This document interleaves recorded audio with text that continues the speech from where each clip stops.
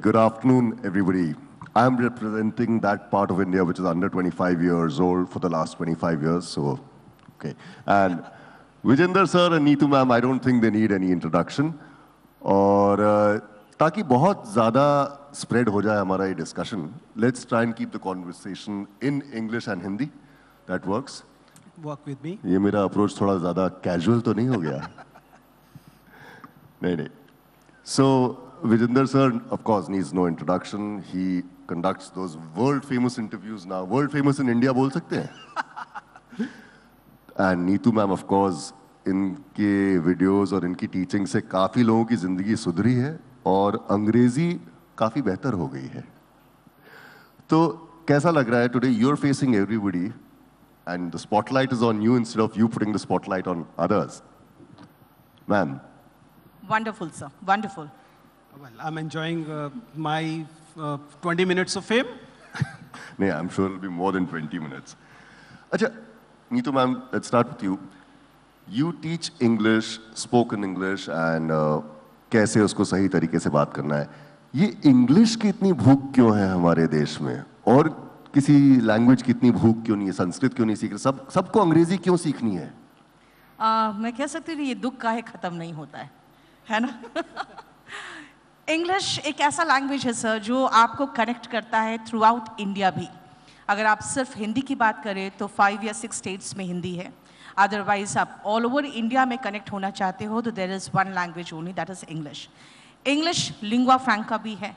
आप all over the world में कहीं भी जाते हो तो आपको एक कॉमन लैंग्वेज चाहिए लोगों से कनेक्ट करने के लिए दैट इज़ इंग्लिश इंग्लिश बहुत आसान भाषा है। हम लोगों ने उसे एक हवा बना के रख दिया है और शायद इंडिया में मैक्सिमम लोग तो इंग्लिश को बिल्कुल एक हवा बना के रख दिया है। इट इज़ अ लैंग्वेज और लैंग्वेज का मतलब क्या है? दिल से दिल की बात। बस कम्युनिकेशन है और कुछ नहीं है। तो हम लोग हमेशा इस डर में रहते हैं कि कहीं हमसे गलत ना निकल जाए मुँह से इंग्लिश और इस डर में खासकर लड़के तो हमेशा डरे रहते हैं कि कहीं कोई स्मार्ट लड़की के सामने इंग्लिश गलत ना बोल दे। तो मैं ये मानती हूँ, आप सिर्फ़ बोलो और अपने आप को कम्युनिकेट करो because it is a language and a means of communication nothing else sir आप इंग्लिश हिंदी दोनों में इंटरव्यूज़ लोगों के कंडक्ट करते हैं। What do you think is that hunger for English justified और कैन जैसे बहुत लोगों ने सुना होगा कि जो लोग हिंदी मीडियम से आते हैं, उनको नहीं कोशिश करनी चाहिए सिविल सर्विसेज़ में कंपटीशन में, ऐसा काफ़ी लोग कहते हैं। तो is that true would you feel that need is justified देखिए, अगर आप भाषा के लिहाज से समाज को समझने की कोशिश करेंगे तो जैसा नीतू जी ने कहा कि अंग्रेज़ी महत्वपूर्ण भाषा है, इसमें किसी को कोई शक नहीं हो सकता है। लेकिन आपको ये भी समझना पड़ेगा कि यह हमारे देश में केवल कम्युनिकेशन की भाषा नहीं है या कम्युनिकेशन के मायने के अर्थ में एक और भिन्न कम्युनिकेशन की भी भाषा है। ये केवल ये नहीं बताती कि आप क्या सोच रहे हैं ये ये भी बताती है कि आप किस वर्ग से आ रहे हैं। ये आपके आपके क्लास को बताने की भाषा भी अनफॉर्चुनेटली बन तो चुकी है। क्लास लैंग्वेज हो गया फिर एक तरीके से। हम लोग इस तरह से देखें कि हम लोग क्लास में जब इस भाषा विज्ञान में इसे समझाते हैं तो हम कहते हैं कि हमारा समाज एक डायग्लॉसिक समाज है। जिसमें एक से ज़्यादा भाषा बोली जाती है और उनका सामाजिक रुतबा अलग अलग है। ये वो वजह है जिस वजह से हमें अंग्रेज़ी की आवश्यकता पड़ती है। जैसे आपने कहा कि अगर आप हिंदी बोलने वाली लड़की से बात करेंगे तो आपको एक भिन्न तरह की लड़की मिलेगी। और आप अंग्रेज़ी बोल के लड़की को इम्प्रेस करेंगे तो आपको भिन्न तरीके की लड़की मिल रही होगी। और ये केवल लड़की पे लागू नहीं होता सॉरी मतलब लड़की को कॉमेडिटी के सेंस में नहीं देखना है। ये केवल आपके पार्टनर पे लागू नहीं होता, ये आपकी नौकरी पे लागू होता है, ये आपके करियर पे लागू होता है। ये सिविल सर्विसेज़ में भी जैसा आपने कहा इससे एक एक अलग तरीके का अंतर पड़ता है। ये मुखर्जी नगर वरनाम करोल बाग का मामला है। अ, न- करोल बाग केवल केवल भौगोलिक तौर पर साउथ में नहीं है अगर हम इसे कंपेयर करें मुखर्जी नगर से बल्कि ये भिन्न दुनिया भी बन जाती है क्योंकि वो इंग्लिश मीडियम वाले लोगों का हिस्सा हो जाता है। तो भाषा निश्चित तौर पर हमारे यहाँ एक सामाजिक विभाजन एक सोशल स्ट्रेटिफिकेशन का भी टूल रही है, जिसकी वजह से आप आप जब सब अंग्रेज़ी बोलने लगेंगे, नीतू जी, आपकी कृपा से तो आप पाएँगे कि लोग शायद हो सकता है कहें कि फ्रेंच ज़्यादा अच्छी चीज़ है, क्योंकि सत्ता वाले व्यक्ति को अपनी भाषा अलग चाहिए। अगर अंग्रेज़ी भी सब बोलेंगे तो सब इंग्लिश मीडियम स्कूल हो जाएँगे, सबको नीतू जी अंग्रेज़ी सिखा देंगी तो वो कुछ और भाषा खोज लेंगे, क्योंकि ये हमारे यहाँ लगातार समाज में रहा है। सो थैंक थैंकफुली अब भाषा विज्ञान ने इसे समझना शुरू कर दिया है। और आप लोग मीडिया वाले लोगों ने हिंदी को कुछ इज़्ज़त भी दे दी है। जिसकी वजह से अब हिंदी बोलना इतनी बेइज्जती की बात या शर्म की बात तो नहीं है, मेरे लिए तो नहीं। सर, ये जैसे बौद्धिक बौद्धिक जो आपकी क्षमता है, आप ये भी महसूस करेंगे जैसे मैं मीडिया लाइन में बताती हूँ आपको। आप न्यूज़पेपर्स पढ़िए, आपको हिंदी न्यूज़पेपर्स के जो कंटेंट्स है, बहुत ही बेसिक चीज़ें मिलेंगी और इंग्लिश न्यूज़पेपर्स के जो कंटेंट्स है, सर एग्ज़ाम में वही आता है। तो अगर आप एग्ज़ाम की तैयारी कर रहे हैं तो अपने आप आप इंग्लिश न्यूज़पेपर्स पढ़ना शुरू कर देंगे। तो ये एक क्लास का डिवीज़न की बात नहीं है, ये एक इंटेलेक्चुअल जो लेवल है, वो भी बताता है कि आप अगर इंग्लिश जानते हैं तो आप कुछ अच्छी चीज़ें पढ़ रहे हैं और जितने भी अच्छी किताबें हैं सर, जो भी आप इन्वेंशंस या डिस्कवरीज की बात करेंगे, जो भी होते हैं सब अब वेस्टर्न कंट्रीज़ में जो होते हैं वो आपके देश में आएँगे और आप कहेंगे, नहीं, हम ट्रांसलेट करके बताएँगे. तो सर, आप मुझे एक छोटा सा मैं एग्ज़ाम्पल देती हूँ। जितने भी हिंदी कविताएँ हैं, कितनी मधुर कविताएँ हैं, आप उर्दू शेर देखिए। क्या आप उसको इंग्लिश में ट्रांसलेट करके आप सेम भाव रख सकते हैं? उसकी जो भावना है, आत्माएँ खत्म हो जाती तो अब हर चीज़ जो इंग्लिश में बना है, जो इंग्लिश में विकसित हुआ है, उसको आप हिंदी में ट्रांसलेट करके वो सेम चीज़ प्रस्तुत नहीं कर सकते। तो अगर आपको वो लेवल की चीज़ें पढ़नी है समझनी है आपको वो लैंग्वेज आना चाहिए। बट कहीं ये कॉलोनियल माइंडसेट का थोड़ा हैंगओवर नहीं चल रहा है कि अंग्रेज़ी में है तो बेटर रहेगा और उसको ट्रांसलेट कर देंगे तो गड़बड़ हो जाएगा? Hindi is easier to speak and pronounce than most of English मैं ट्रांसलेशन इससे तो मैंने कहा कि अगर मैं उर्दू शेर का जो ट्रांसलेशन कर दूँ तो क्या वो गड़बड़ नहीं हो जाएगा? आप किसी भी चीज़ को जिस लैंग्वेज में बना है, अगर आप उसको उसी में रखेंगे, आप सब छोड़िए। शेक्सपियर ने जो रोमन इंग्लिश में जो ड्रामास लिखे हैं, आप उसको इस नॉर्मल इंग्लिश में ट्रांसलेट कर दीजिए तो वो गड़बड़ हो जाता है। क्योंकि हम भी जब आईसीएसई बोर्ड में पढ़े तो हमने जब देखा कि दूसरे बोर्ड्स वाले उसको इंग्लिश में ट्रांसलेट करके पढ़ रहे हैं तो हम लोग उसको हमेशा ही कहते थे कि वो जो मूल भावना होती है, वो गड़बड़ हो जाता है। तो कॉलोनियल माइंडसेट की बात नहीं है। आप इंडिया को भी हटा दीजिए। आप ऑल ओवर वर्ल्ड में जाइए इंग्लिश एक कॉमन लैंग्वेज है, जो सब कुछ, सब कोई टूटा फूटा ही बोल ले, लेकिन बोल के कम्युनिकेट कर पाते कोई भी एक लैंग्वेज ये दर्जा नहीं ले पाया है ऑल ओवर वर्ल्ड में। और आज आप बात कर रहे हैं, अगर इंडिया को वर्ल्ड के लेवल से देखने की बात कर रहे हैं तो अगर हम हिंदी या कोई भी भाषा दूसरों पर थोपना चाहे तो सर आप अपने कंट्री में ही देखते हैं कि लोग आपके जो क्षेत्र के, दूसरे स्टेट्स के लोग हैं, वो रिवोल्ट कर देते हैं, अगर आप हिंदी थोपना चाहते हैं तो। तो ये हम पूरे वर्ल्ड में तो थोप ही नहीं पाएँगे। सही बात है। आइडियाज़ ऑफ़ इंडिया में आज का हमारा जो टॉपिक है, उसकी हेडिंग है यर्निंग टू लर्न आजकल का जो यूथ है, जो पहली बार नौकरी की तलाश में निकलता है या नौकरी पाता है, Vijendra sir this is towards you उनके पास नौकरी तो है but is do the jobs they have are the jobs that are right for them क्या वो नौकरियाँ उनके लिए सही है? जो नौकरी है, धड़ पकड़ के भैया पहले तो रिस्पॉन्सिबिलिटी संभालेंगे। वेल uh, अनंत बहुत शुक्रिया ये बात पूछने के लिए क्योंकि हमें ये समझना पड़ेगा। अभी अभी हम लोग डेमोग्राफिक डिविडेंड की बात कर रहे हैं और आपने कहा कि 25 साल से कम लोगों की जो जनसंख्या है हमारे देश में वो दुनिया में सबसे ज़्यादा है। हमें समझना पड़ेगा कि 25 साल वाले लोग कभी 50 साल के भी होने वाले हैं। और ये 25 साल के लोग जब 50 साल के लोग होंगे तब 50 साल वालों की जनसंख्या हमारे दे, दे, हमारे देश की जनसंख्या दुनिया में सबसे ज़्यादा हो। ना काम कर पाने लोगों वालों की संख्या सबसे ज़्यादा होगी। क्या उन्हें सस्टेन करने के लिए हमारी सोसाइटी अभी से तैयारी कर रही है कि नहीं? क्योंकि अगर आप ध्यान से देखें तो हमारे देश में बच्चों के पास सपनों की विविधता खत्म हुई पड़ी। मुझे बार बार आई और दूसरी एन और इंजीनियरिंग इंस्टीट्यूशंस में जाना पड़ता है और ज़रा पता कीजिए वहाँ प्लेसमेंट क्या हो रही है। मैकेनिकल इंजीनियरिंग पढ़ रहा है प्लेसमेंट आईटी में है। सिविल इंजीनियरिंग पढ़ रहा है प्लेसमेंट आईटी में है। और आईटी में वो क्या कर रहे हैं? 90% percent of them are actually working like a coolie in the IT sector जो कि एआई आने के बाद जॉब ही नहीं रहने वाली है, क्योंकि ये वाली कोडिंग तो एआई खुद ही कर लेगी, जो बेसिक कोडिंग है। तो 70 percent of them are in jobs जो इस समय उनको लग रहा है कि हाँ ठीक ठाक आई कार्ड पहन के जाते हैं, एयर कंडीशन जगह पे बैठते हैं, हालाँकि छोटे छोटे क्यूबिकल्स में ही हैं। लेकिन ten years down the line वो जॉब नहीं होगी। और जो जॉब होंगे, क्या हम उनके लिए स्टूडेंट्स को प्रिपेयर कर पा रहे हैं? या जो वो करना चाह रहे हैं, वो जॉब उनको मिल रही है कि नहीं मिल रही है? अगर उन्हें अपनी पसंद की जॉब मिल रही होती तो आप विजेंद्र चौहान से यहाँ बात नहीं कर रहे होते। आप विजेंद्र चौहान से बात कर रहे हैं क्योंकि सिविल सर्विसेज़ यूपीएससी नाम की चीज़ बहुत पॉपुलर हुई पड़ी है। क्यों हुई पड़ी है इस देश में? 800 नौकरी आती हैं साल भर में। साल भर में केवल 800 नौकरियाँ आती हैं 8 लाख लोग अप्लाई क्यों कर रहे हैं? उसमें आईआईटी के लोग हैं, उसमें एनआईटी के लोग हैं। मुझे आईआईटी आईआईएम इस डबल इंस्टीट्यूशन के लोगों का इंटरव्यू लेते हुए कितनी शर्म आती है, आप अंदाज़ा कीजिए। आपने पहले आईआईटी किया, उसके बाद आपने टॉप फाइव से आईआईएम किया और उसके बाद you want to become a babu why effectively इसका मतलब है कि जो नौकरियाँ उन्हें मिलनी चाहिए, जो नौकरियाँ वो करना चाहते हैं, कम से कम वो नौकरियाँ तो नहीं मिल रही। And we are talking about engineers BA program वाले का क्या होगा? बाबू कुंवर सिंह विश्वविद्यालय से आने वाले व्यक्ति का क्या होगा? उसे तो वो नौकरियाँ भी नहीं मिलेंगी। जो नौकरियाँ पहले उसे मिलती थी, वो अब आईआईटी और एनआईटी वालों को मिल रही हैं। तो उसके पास कौन सी नौकरियाँ हैं? तो सिचुएशन राइट नाउ कि दरअसल इच्छित नौकरियाँ, इच्छित रोज़गार नहीं मिल रहे हैं। ऐसे में हम क्या कर रहे हैं? हम लोग स्टार्टअप का हल्ला मचा रहे हैं ताकि लोग कहें कि भाई नौकरी छोड़ो, नौकरी देने की कोशिश करो।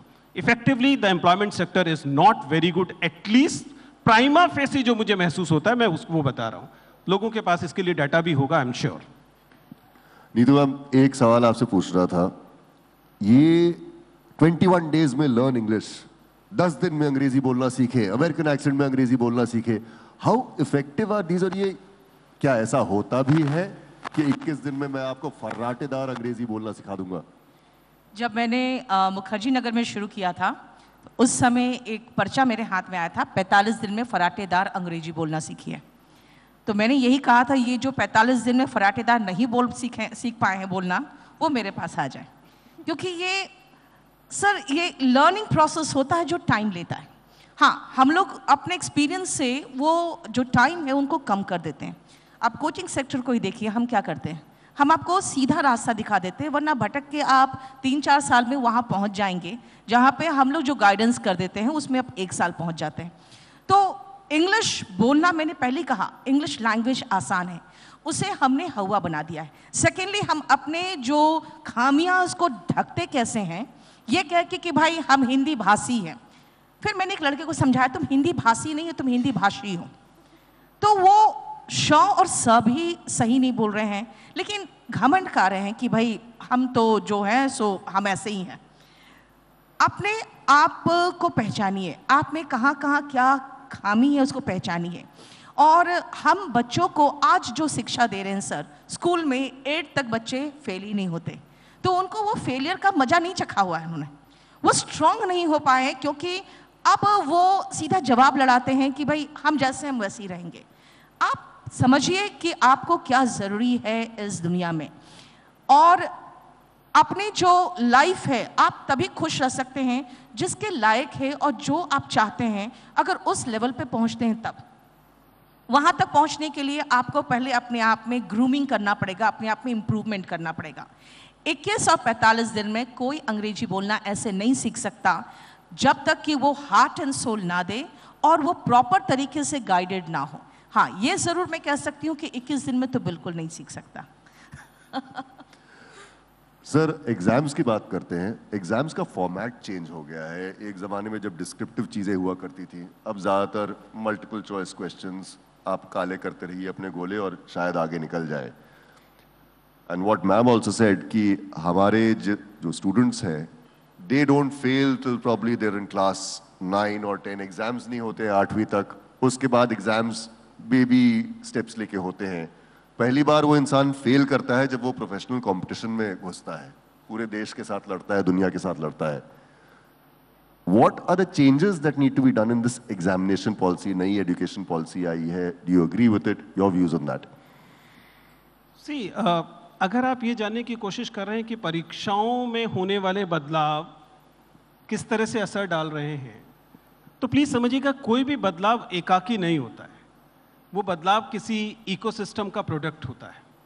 आप कैसी, कैसे भारत का तस्वुर रखते हैं? What is your idea of India will determine कि आप अपने बच्चों को क्या पढ़ाना चाहेंगे और उनकी किन स्किल्स को जांचना चाहेंगे। If you looking only for the multiple choice questions आपको चार दिया, उसमें से एक चुनिए। तो आप, ऐसा नहीं है कि एनालिटिकल स्किल्स को मल्टीपल चॉइस से नहीं जांचा जा सकता, जांचा जा सकता है। लेकिन कम से कम इसका मतलब ये ज़रूर है कि एम्फेसिस आपका क्रिटिकल थिंकिंग पर से हटकर मार्किंग अप या इंफॉर्मेशन पर ज़्यादा चला गया है। आप क्रिटिकल थिंकिंग और डिस्क्रिप्टिव अंडरस्टैंडिंग की बजाय डेप्थ ऑफ़ द अंडरस्टैंडिंग की बजाय विथ ऑफ़ द अंडरस्टैंडिंग पर ज़्यादा ज़ोर देने लगे इसका मतलब आपका idea of India 15 years down the line 20 years down the line ऐसे लोगों का है, जिसमें क्रिटिकल थिंकिंग बहुत इंपॉर्टेंट एबिलिटी नहीं होगी। केवल कुछ सूचनाओं को समझ पाना और उनको प्रोसेस कर पाना आपकी प्राइमरी कंडीशन है अपने सिटीजन से, अपने फ्यूचर सिटीजन से। इसलिए आप अपने एग्जामिनेशन पैटर्न को, आप अपनी एजुकेशन पॉलिसी को इस तरीके का बनाना चाहते हैं। आप, मैं ये नहीं कह रहा कि न्यू एजुकेशन पॉलिसी में क्रिटिकल थिंकिंग नहीं है, उसमें शब्द आता है, लेकिन उसमें शब्द आता है। मैथडोलॉजी में पेडागोजी में और बाकी जगहों पर मुझे लगता है कि अभी और गुंजाइश है। If you want to have a brighter future India if our idea of India is to be at par with some great nations, तो फिर मेरे ख्याल से हम लोगों को अपनी एजुकेशन में उस चीज़ के लिए अभी से स्पेस बनाना पड़ेगा। उसकी गुंजाइश थोड़ी सी और ज़्यादा होनी चाहिए। Coming to the immediate part कि इस समय जो नए तरीके की परीक्षाएँ आ गई उनको क्रैक करने के लिए फिर then obviously you'll have your force to get into that ecosystem of Kota and Mukherjee Nagar and Karol Bagh because they know the tips they'll be able to guide you with uh, uh, certain infographics. They'll be able to give you uh, the, the, the, faster ways of attempting by cancellations, by things like ruling out the options and जो बचा है वही होगा. That methods. you, हमारे यहाँ हिंदी में कहावत होती है कि आप गुड़ खाकर गुलगुलों से परहेज नहीं कर सकते ठीक है अगर आपने अपनी ये वाली पॉलिसी चुनी है तो आपको फिर मुखर्जी नगर और करोलबाग के आश्रय में जाना ही पड़ेगा।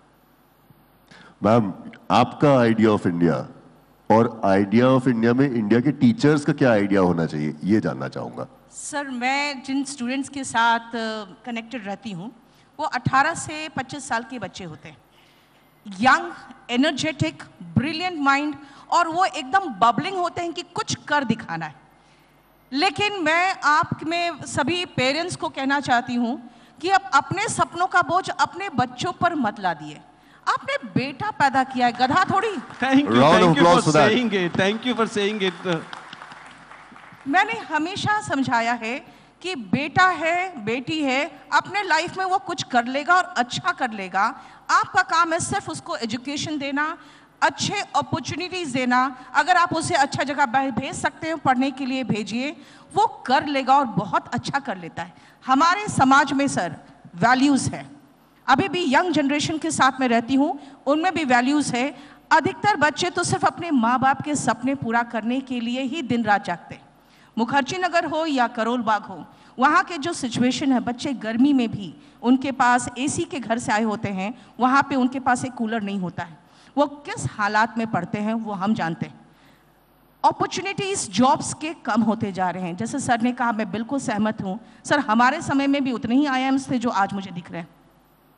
जनसंख्या बहुत बढ़ गई है। नौकरियों की संख्या जो हमने 2012 में देखा, उससे कम है आज 2022 में।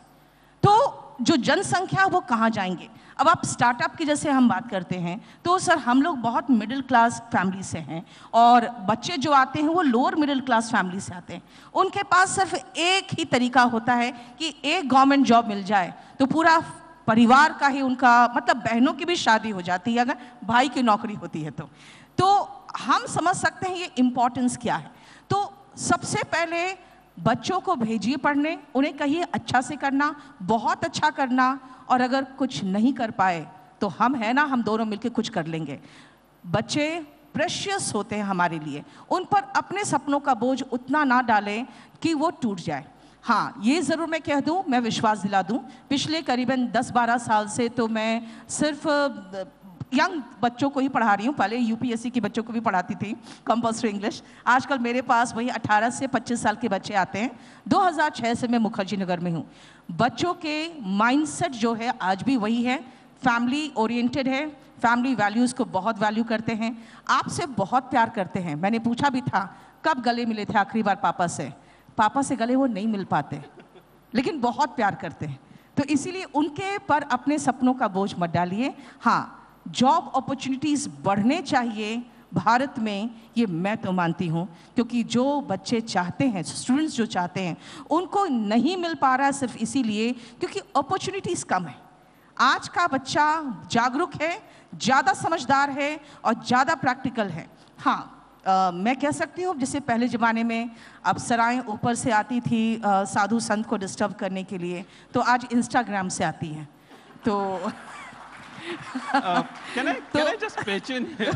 Yeah, please. Disturbing elements तो अब भी है लाइफ में उनके Right, right. लेकिन वो हमेशा से रहा है अ, नीतू जी ने जो कहा उसी में बस ऐड करूँगा अगर आप कहें तो इट इज़ इंपॉर्टेंट कि आप अपने अ, सपनों का बोझ बच्चों को ना दें बच्चे प्रोजेक्ट चाइल्ड नहीं हैं इंटरव्यूज़ लेते समय हमें बार बार ऐसे कैंडिडेट मिलते हैं जिनके सामने बैठे होकर आपको पता होता है कि ये प्रोजेक्ट चाइल्ड है इसको पहले नी- उसके पहले कोटा भेजा गया, कोटा के बाद आईआईटी गया आईआईटी के बाद इसको आईएम भेजा गया आईएम के बाद इसको आईएएस के लिए भेजा गया, पिताजी भेज रहे हैं। लेकिन इट्स नॉट जस्ट पिताजी बिकॉज़ पिताजी के मन में ये कहाँ से आ रहा है को समझिएगा? वो वो सेक्शन है जिसे नीतू जी ने लास्ट में कहा। हमारे यहाँ इस नए फॉर्मेट ने एआई ने सोशल मीडिया ने एल्गोरिथम्स ने, आपके आपके स्क्रीन पर विजेंद्र चौहान और नीतू जी के चेहरे फेंक फेंक कर माता पिता के मन में ये डाल दिया है as if there exist only handful of career choice यही है स्टैंडर्ड आपके सक्सेस का। आप इसे कह सकते हैं I mean I am adding it casually please understand कि अगर आप उसे ध्यान से देखेंगे तो आपको समझ में आएगा कि हमारी तस्वीरें दिखाकर नीतू जी उन लोगों को यकीन दिलाया गया कि सरकारी नौकरी या आईएएस बनना या किसी और इस तरह की नौकरियों में जाना ही हैंडफुल ऑफ़ करियर से सर और इससे वो डाइवर्सिटी ऑफ़ ड्रीम्स जो होनी चाहिए थी वो माँ बाप के मन में गायब हुई और उसका ट्रिकल डाउन हो रहा है कि बच्चों के मन सर माफ़ करिएगा हम लोग तो अच्छे चेहरे हैं अब कच्चा बादाम देखने से अच्छा तो हमें दिखा दे इंस्टाग्राम? अपने आप को कहना थोड़ा आसान होता है इसलिए मैंने अपना कहा पर कुल मिला के तमाम चीज़ें आप एलविस यादव दिखाएँ या दूसरे बाकी अफसर आए हाँ। नहीं, ये जो आपका प्रोजेक्ट चाइल्ड वाला कॉन्सेप्ट है ना, ये मेरे ख्याल से हमें हटाना है ही है। Of course we can try and through programs like ideas of India में भी बाकी माँ बाप जिनकी समझ में आए प्लीज़ इम्प्लीमेंट करिएगा। एआई के बारे में विजेंद्र जी, आपने बात किया। अब ये एआई जो है मीम्स एल्गोरिथम्स यूट्यूब पे आप क्या देखते हैं इंस्टाग्राम पे आपकी फ़ीड में क्या आ रहा है तो ये बच्चों का करियर पाथ सेट कर रहा है या माँ बाप या don't you See- think it's AI with setting the standards for everybody this is what my biggest worry right now is आप इस बात को समझिए कि आप क्या चाहते हैं ये तय करने की सत्ता आपके हाथ से छीन ली गई है। आप दरअसल आपके पास लगातार उस तरह के शॉर्ट्स और वीडियोस आ रहे हैं और इससे एक तो आपकी अटेंशन स्पेन खत्म हो रहा है और उसके वजह से आप और क्यों आ रहे हैं? क्योंकि जैसे ही आपने विजेंद्र चौहान का चेहरा तीन सेकंड देखा उसके बाद उस एआई को समझ में आ गया कि इसको दूसरी रील विजेंद्र चौहान की दिखाई जा सकती है and it goes on a cyclic mode और फाइनली क्या होता है it result in something called persuasive technology you start believing that the dream being served to you is as basically your dream. It is happening with individuals. Unfortunately, it is happening with collectives. It is happening with the society as well.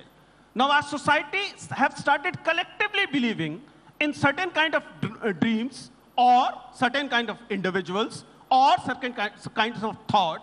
At the end of the day, we are accepting what is being served to us by algorithms as our own free choice, which is not our free choice. And it is, it is affecting not just the career choices, it is affecting our choices of food, it is affecting our social choices, choices of partners and relationship, and it is affecting our political choices as well And it is dangerous. beware of the illusion of choice काफी एकदम ज्यादा आप तो एक- Uh, This is, this, mode is, में आ this गए is थे something very close to my heart. I want everybody to understand that it is really important that we cannot let few algorithms decide what should be future of the nation. Neetu ma'am uncut का एक YouTube channel है उस पर एक question आया है मैं सोच रहा हूँ आपसे पूछ लूँ सबसे वाहियात इलॉजिकल रीजन अंग्रेज़ी सीखने का किसी ने आज तक आपको क्या बताया है? आ, सबसे इलॉजिकल जो रीज़न मिला है मुझे एक महिला शादी के बाद शुरू शुरू में जब मैं पढ़ाना शुरू किया था वो मेरे पास इंग्लिश सीखने आई। तो मैंने ऐसे ही पूछा कि आप कोई एग्ज़ाम दे रहे हो या क्यों सीखने आए? उसका कहना था कि जब मैं मॉडर्न ड्रेस पहन के किटी पार्टी में जाती हूँ तो जो भी मेरे से बात करने आती है वो इंग्लिश में बात करने आती है। और मैं इंग्लिश नहीं बोल पाती एक और लड़का ने मुझे एक रीज़न दिया था कि मैं अपनी गर्लफ्रेंड को मतलब मेरी जो फ्रेंड है, उसको मैं प्रपोज करना चाहता हूँ इंग्लिश में। तो मुझे कुछ ऐसे सेंटेंसेस आप बताएँ जो इंग्लिश में मैं प्रपोज कर सकूँ। तो मैंने कहा, फिर उसके बाद वो जवाब इंग्लिश में दे दी। फिर तुम क्या बोलोगे? क्योंकि वो जवाब क्या देगी मुझे तो नहीं पता है। वो मेरी स्टूडेंट तो नहीं है। तो इसीलिए इंग्लिश प्रॉपर तरीके से सीखो। These are certain illogical reasons मैं मानती हूँ सर आप जेनविन कारण से एग्ज़ाम की भी तैयारी में हमेशा बच्चों को कहती हूँ कि पवित्र मन से करो। जो तुम लोग आते हो, कहते हो कि मैम पैसा है तो भाई पैसा चाहिए तो स्टार्टअप शुरू करो। हो सकता है घर के कपड़े भी बिक जाएँगे, तुम्हारे बर्तन भी बिक जाएँगे। तो इतना रिस्क लेके आओ। अगर आप नौकरी के लिए आ रहे हो तो आप अपने फैमिली को एक लाइफ देना चाह रहे हो, जिसमें कोई टेंशन नहीं है, और आप लोग एक क्लास को बिलोंग कर रहे हो, जो बहुत ही लोअर मिडिल क्लास है तो आप एक अच्छे लेवल जीना चाहते हो, इसीलिए आना चाह रहे हो। आप पैसे के लिए आना चाहोगे तो शायद भगवान आपकी इच्छा पूरी ना करें, क्योंकि साफ़ नीयत से आओ। इंग्लिश भी मैं यही कहूँगी कि अगर आप सीखना चाहते हो तो अपने जो भावना है व्यक्त करने के लिए, वो भावना व्यक्त करना है तो आप इंग्लिश सीखिए, क्योंकि आप ऐसे जगह पे काम करने जा रहे हो, जहाँ पे अधिकतर लोग इंग्लिश में बात करेंगे। और मैं मानती हूँ, सब प्राइवेट जॉब में तो ये बिल्कुल एकदम कंपल्सरी है कि आपको इंग्लिश आनी चाहिए। सबसे ज़्यादा गड़बड़ियाँ कौन से अंग्रेज़ी शब्दों में होती है? सॉरी सबसे ज़्यादा गड़बड़ियाँ फॉल्ट कौन से इंग्लिश वर्ड्स में कॉमनली आपको मिलती है जो लोग यूज़ करते हैं जो इमीडिएटली पकड़ती हैं आप? मतलब नहीं समझ में आया sir as in most common mistakes नहीं बच्चों को कोई शब्द आज सच परेशान नहीं करता सर कोई पर्टिकुलर शब्द की बात नहीं करूँगी। बस एक सामने आके कोई लड़की इंग्लिश में बात कर ले तो उनके आवाज़ अटक जाती है। अब ये मैं नहीं कह सकती हूँ कि हाँ कोई एक शब्द उनको परेशान करता है but still a beautiful girl standing in front of them and talking in English बस ये can, can I just pitch in here? I mean, it is just an appreci- I'm I was looking for opportunity to appreciate uh, Neetu ji here. Uh, since she's talking about girls and all la- lagatar, uh, we were having last session where uh, scientists, women scientists were here and Yeah. we were all applauding uh, women uh, uh, doing so good in space sciences. Uh, Neetu ji, along with only a handful of uh, other women, are in that this industry, which is a really hard, very very competitive industry. और ये बहुत ही masculine और misogynist industry है the coaching industry and Neetu ji is surviving there there handful of others this is wonderful you have made this place more Thank you, sir. inclusive the, Thank you, uh, sir. the, this space. That's why i wanted to uh, commend your uh, work. I know it, it must have been a very very tough struggle. Thank you so much sir thank you so much round applause for that नियत की बात आप लोगों ने अभी की इतने सारे इंस्टीट्यूशंस खुल गए हैं इतने सारे टीचर्स हो गए हैं सही नियत वाला टीचर कैसे ढूंढा जाए? देखिए हम लोगों के उत्तर इस बारे में एक जैसे नहीं होंगे। Uh, मैं एक यूनिवर्सिटी का टीचर हूँ। I do I am I am in the fringe of that industry I been taking those interviews for last twenty years so I know a little bit about that industry but to me a good teacher is a teacher which empower you to think clearly and critically. This is what my understanding is. But unfortunately the industry जिसकी हम बात कर रहे हैं the coaching industry the mentoring industry वहाँ पर cracking the examination is the criteria and the examination nature as you set is already change it's not valuing critical thinking to the extend it should so I may not be right when I am saying कि critical thinking वाले को ऐसा है क्योंकि universities में to me a teacher who is able to promote critical thinking in the student is the best teacher But then it may not apply uh, to uh, your industry, ma'am. In my industry sir मैं कह सकती हूँ कि teachers जो अच्छा नहीं पढ़ा रहे हैं या जो कंपटीशन दे नहीं सकते क्योंकि कट थ्रोट कॉम्पिटिशन सिर्फ़ बच्चों के बीच में नहीं है इंस्टीट्यूट्स के बीच में भी है। तो आपको best of the best quality देना पड़ेगा और तभी आप सस्टेन कर सकते हो। इसीलिए अगर आप मुखर्जी नगर या करोल बाग जाएँ आप इस साल कुछ इंस्टीट्यूट्स को देखेंगे दो साल बाद नहीं देखेंगे। तो ऐसा होता है। तो वहाँ पे सर्वाइवल ऑफ़ द फिटेस्ट है। बच्चे जब आते हैं बाहर से तो वो चार लोगों को पूछ के आते हैं और वहाँ भी आके चार लोगों को पूछते हैं। तो खुद समझदार होते हैं और दूसरी बात इतने आज अवेयर है बच्चे because of internet and all कि वो सही इंस्टीट्यूट और सही टीचर की पहचान करके खुद ही सही जगह पहुँच जाते हैं sir Well, on that note, Ideas of India में yearning to learn में मैंने तो काफ़ी कुछ सीखा। उम्मीद कर रहा हूँ कि आप सबने कुछ ना कुछ तो सीखा ही होगा thank you so much to both the. Thank out you very here. much. Thank you, ma'am. Thank you sir thank you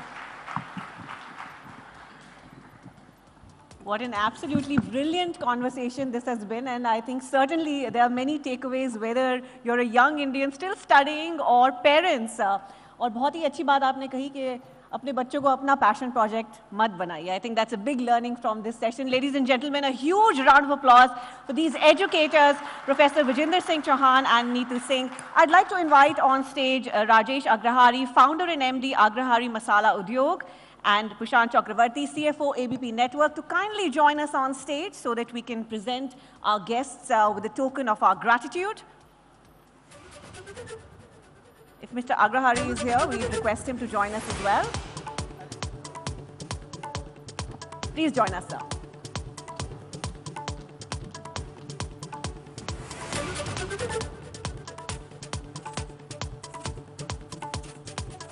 Ladies and gentlemen, Neetu Singh.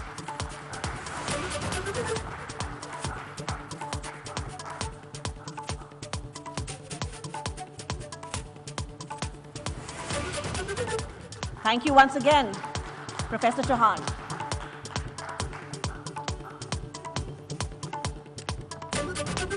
Thank you very much, gentlemen, and thank you, Anand, for a wonderful session. A quick picture before we move on to the next exciting session.